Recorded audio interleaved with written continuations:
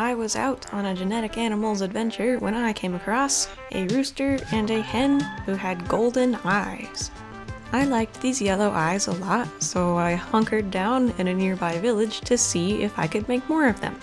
If you'll look closely, instead of having golden eyes, every single one of their chicks have blue eyes.